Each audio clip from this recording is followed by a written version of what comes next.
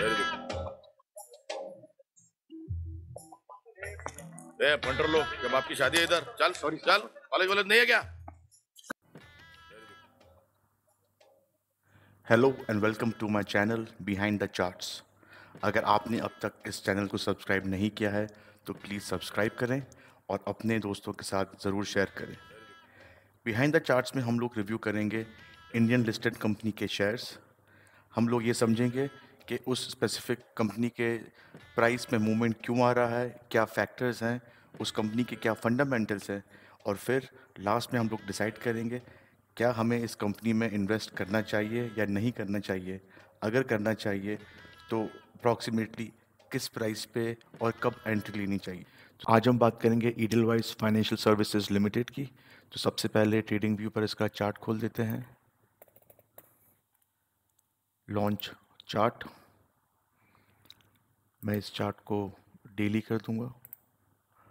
तो आप देख सकते हैं मैंने ट्रेडिंग व्यू पर Edelweiss financial services limited का वन डे एन का चार्ट खोल दिया सबसे पहले हम इसका बैकग्राउंड समझेंगे। Will talk about the fundamental and then will come back to the chart look at the chart and then take a decision what we should do Edelweiss is one of India's prominent diversified financial services company was founded in nineteen और Company provides a range, wide range of financial products and services, which includes credit or credit main gata retail credit, which includes personal loans, home loans, loan against property, SME loans, etc. And then in credit, the other segments are corporate credit, which includes structured finance, term loans, working capital finance, etc. Companies also into wealth management, which includes advisory services, portfolio management services, and family office services. Then they have asset management, which includes mutual funds, ETFs, that is exchange traded funds, alternative investments also to cater to lo- investors looking for non-traditional investment options. Then they have life insurance, general insurance, and reinsurance as part of their insurance segment. Then they have capital markets where they provide investment banking services, brokerage services, research and advisory. Plus they have proprietary trading platforms and they also provide treasury operations. Moving on, they are also into corporate finance where they provide structured finance to the corporate to meet their needs. They also are into debt syndication, then housing finance where they provide loan against property. Investment products further includes their structured products to meet specific investor needs. Then they have fixed income, things like bonds, government securities, corporate bonds, etc. Then they're also into global wealth management services. And then renewable energy finance, fintech, and digital solutions, where they provide digital lending and wealth tech solutions. So basically, आप ये देख सकते हैं कि इस company का काफ़ी diversified product base है and they are into many products of financial industry पर लेकिन अगर देखें कि इन प्रोडक्ट्स में से प्रॉफिटेबल सेगमेंट कौन सा है और वो सेगमेंट्स कौन से हैं जिन पे इस कंपनी को अटेंशन चाहिए? So first will see which are the profitable segments सबसे पहले प्रॉफिटेबल सेगमेंट में आता है इनका asset management then insurance and a little bit of core retail credit and these are the most profitable segment these are stable and company is actually driving study growth and profitability from these three और four segments at the same time there are many segments in this company which needs attention which is there a digital lending segment which they started in covid when they thought that yes they have to have more digital presence sme loans proprietary trading they need to have more focus and optimize their returns and ensure that they are also tapping into the growing renewable energy finance sector अगर आप देखेंगे तो power finance के काफ़ी shares जो हैं वो rally पे थे और अभी भी कुछ रैली पे हैं और the overall this sector of generating energy, whether it's through coal or through renewable sources, it, it's at boom because the demand in India is really high. So they need to tap into this sector and ensure that they make the most out of it. Talking about leadership and financial performance, under the leadership of Radhika Gupta, this company has made really notable growth. And in the year ending March 2024, the company has reported 23% increase in its net profit and reaching a profit of 421 crores. compared to 344 crores in the previous year. But at the same time, the company is also going through strategic restructuring, and the idea is to focus more on the asset management and insurance business, business which are actually performing better than the other ones. And what the company has done, company has sold its stake in wealth management and asset management business to global firms, and they want to focus and tap into the credit business, specifically in the retail and SME segments. And they want to also pay more attention and focus to the insurance operations because insurance operations, what they have right now, they have real potential in terms of growth. Company also did an issue of non-convertible debentures in July 2024 amounting to 200 crores. And again, the idea of this small issue was to ensure that they have some funds through which they can reduce the debts because when we'll move to the financials, you will see that the company really has high interest cost. Now we'll go to some of the prominent news from 2018. The net sales at 75 crore and it was down 29%. So definitely if you see that September quarter में इसका sales 30 टका कम हुआ था and then the same thing you will see in the share price also. Moving on, in the March 2024 quarter, the company net profit rose to 13.26%, and it's really a good sign. Moving on, when we talk about the latest June 2024 net sales, although the amount that you see on the screen is less than the previous quarter, but through the leadership efforts, the company has really did well in the operations, and their year-over-year profit is actually up. Then at the same time, in the month of May, when RBI was doing an exam, or you can call it supervisory exam, where someone from the regulator will come to your premises, will have access to your systems and other stuff, and they perform exam. So they they, come with some pre-defined agenda which is known to the organization, and then they perform testing. It's similar to an audit, where auditor will go ask for documents, and the company's management has to provide the document. In this, they found something, and when they gave a material concern for the observations, the stock went down by 16%.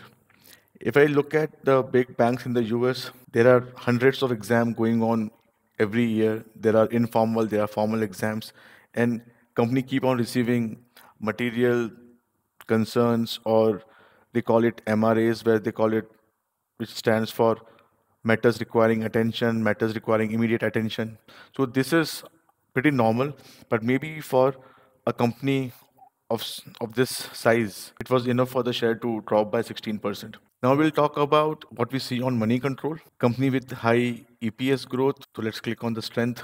Company with high EPS growth using capital to generate profit efficiently. Effective use of shareholders' funds. Annual profit improving. Company with zero promoter pledge. At the same time, there are three weaknesses. High interest payment. Yes, the interest payment is really high. The cash flows from operations is declining. Other, they have negative net cash flow, and mutual funds have decreased their shareholding in the last quarter. Same time, we have some opportunities. The company has a meaning price equity ratio, sorry, price earning ratio, decrease in provisions for in the recent result, which is also a good sign, and RSI is showing strength. Overall, the technicals say bullish, but we'll ignore it and we will go down. Look at the Moneycontrol insights. It really has strong financial because it has received a lot of money through the demerger plan. And at the same time, and look at the shareholding pattern, promoter really has less shareholding and it's a concern to me, but we will find many such companies on the stock exchange. FII, FPI have again decreased their holdings. Number of investors have gone down too. And then overall, if you look at institutional investors also, they have reduced their holdings. So there has been movement. People have been selling their holdings. But at the same time, when I look at the numbers, that the numbers are really not significant, you'll always see a little bit movement quarter over quarter because there will be investors who will be willing to exit from one security and they will be having another opportunity where they want to invest. There's decreasing debt to equity because I told you companies' main focus is to reduce the debt. Their ROC is improving, ROE is improving, double dhamaka companies with grown profit and net profit margins over the past 12 months. Foreign investors are selling, institutional selling because we know overall big players have sold their holdings, book value to, sorry, price to book value above industry, which is good, rising book value. And then falling quarterly profits. And we'll see that why it has gone down. And at the same time, when, when, we, when I say that the quarterly profits have gone down, the year over year profit has still gone up. In terms of price and volume, volume is really good, but the delivery is not. So a lot of trading is happening in this share. When I go to bulk deals, you will see that CLSA Global Markets have purchased this security at 74.5, which is less than the current market price. It's almost flat, and only in the March month and it has gone up as compared to the previous trend.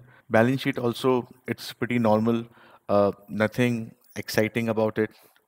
Cash flows are positive from operations, which is a good sign, but then their financing activity is taking most of their cash flows, and that's why the overall cash flow is negative, and that's not so good for the company of this size and reputation. And if I want to really conclude the fundamentals, the fundamentals are okay we really don't have any history of growing profit or growing net profit.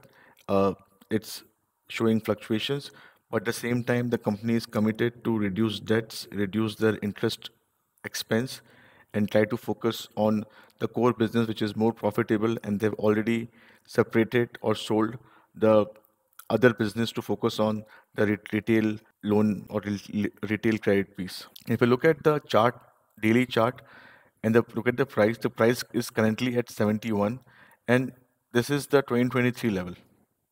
That in october 2023 this was at the same price.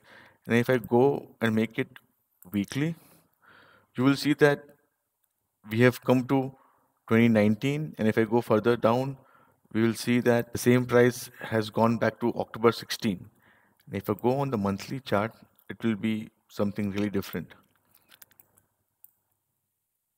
we are currently at price of December 16 and this price was also there when the company had launched its its IPO. इस chart से मालूम पड़ता है जो आज की price है वो 2008 का भी सेम प्राइस था कंपनी का जो फ़र्स्ट डे था, जब कंपनी लॉन्च हुई थी और जब कंपनी जब आईपो आईपीओ हुआ था that was around 96 and then it came down down down and what we see right now we are at the level which is equal to 2008 level so I am trying to say that the company is available at a very less valuation gonna be a really good buy and this company can share can be a multibagger it can easily become two or three times from from here. But again, moving back to the daily chart,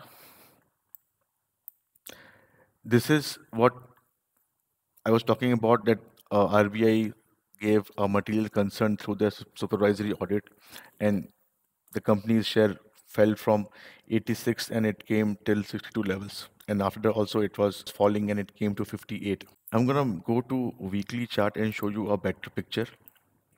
So this is what we see on the weekly chart.